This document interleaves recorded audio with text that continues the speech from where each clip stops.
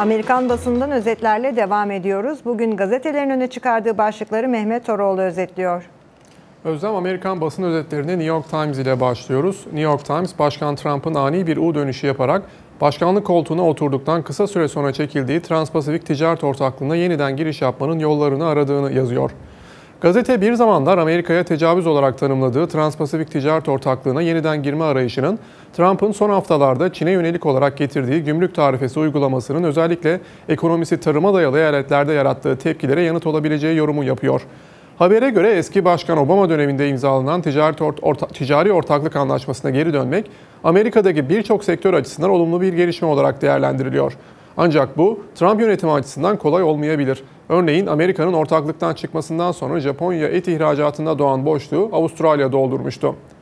New York Times bugün ayrıca Amerikan Savunma Bakanlığı'nın Suriye'ye askeri müdahale konusunda dikkatli adım atılması gerektiği uyarısında bulunduğunu bildiriyor.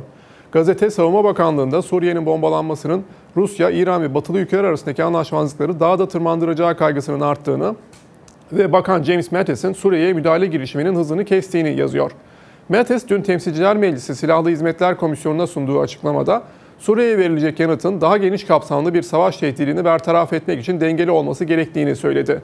Metis dün Beyaz Saray'daki toplantıda ayrıca Amerika, İngiltere ve Fransa'nın Suriye hükümetinin kimyasal silah kullandığına dair ikna edici kanıt sunmak zorunda olduğunu da kaydetti. Washington Post ise geçen yıl Mayıs ayında Trump tarafından kovulan eski FBI Başkanı James Comey'nin önümüzdeki hafta salı günü yayınlanacak olan ve gerek kamuoyu gerekse siyasi çevreler tarafından merakla beklenen anı kitabının ayrıntılarına yer veriyor. Gazete Comey'nin A Higher Loyalty, Truth, Lies and Leadership daha yüksek bir sadakat, gerçek, yalanlar ve liderlik adlı 304 sayfalık kitabında Trump'la olan özel görüşmelerini tüm ayrıntılarıyla gözler önüne serdiğini yazıyor. Comey kitabında Trump'ı doğuştan yalancı, etik değerleri ve insani hisleri olmayan, kişisel egosuyla hareket eden biri olarak niteliyor. Comey Trump'ı ayrıca hepimizin etrafına alternatif bir gerçeklik kozası örmeye çalışıyor şeklinde tanımlıyor.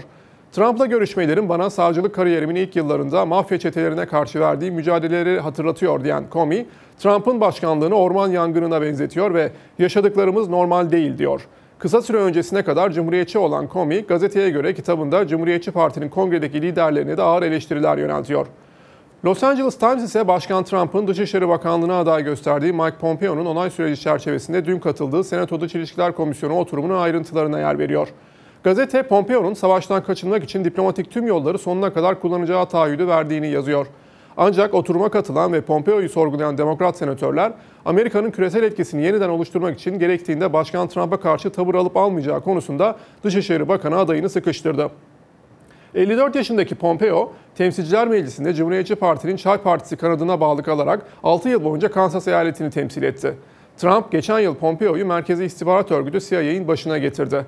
Pompeo'nun siyasete geleneksel olarak uzak duran CIA içinde sıkı bir Trump destekçisi olmasıyla biliniyor. Amerikan basınından aktaracaklarımız böyleydi. Söz tekrar sende Özlem. Teşekkürler Mehmet. Amerikan basından öne çıkan haberleri hafta içi her gün Stüdyo Washington'da izleyebilirsiniz.